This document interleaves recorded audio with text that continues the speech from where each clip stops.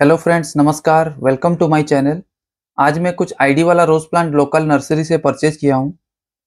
Maximum ID वाला plant local nursery में नहीं मिलता है। मैं इस नर्सरी वाले भैया को पंद्रह रोज प्लांट का ऑर्डर किया था, पर मुझे आईडी वाला पाँच ही मिल पाया यहाँ से।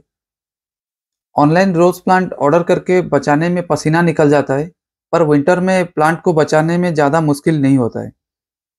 ये सब प्लांट मुझे राइस हस्क में लगा हुआ मिल गया। लोकल नर्सरी से परचेज करने का एडवांटेज ये है कि आप अच्छा प्लांट चूज़ करके ला सकते हैं।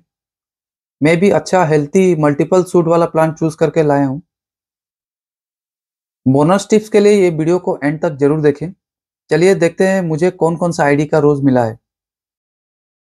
फ़र्स्ट रोज प्लांट का आईडी है स्काईलाइन ये एक मीडियम येलो कलर का एसटी रोज है।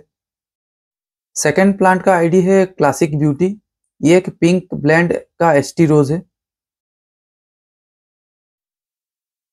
मेरा थर्ड प्लांट का आईडी है मूनस्टोन ये एक वाइट कलर का एस्टी रोज है और इसका एजेस पिंक कलर का रहता है।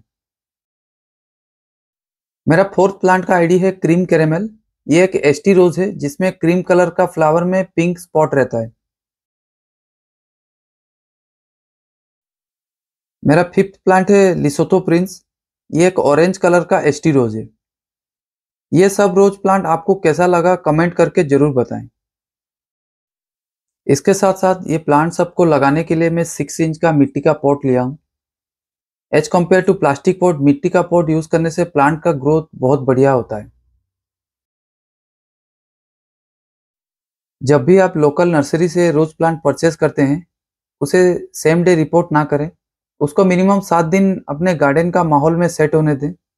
जैसे आप अपना गार्डन का रोज प्लांट में फर्टिलाइज़र या पेस्टिसाइड यूज़ करते हैं सेम इस न्यू प्लांट में यूज़ करें। सात दिन बाद इसको कैसे रिपोर्ट करना है, इसका वीडियो मैं जल्दी शेयर कर दूँगा। Thank you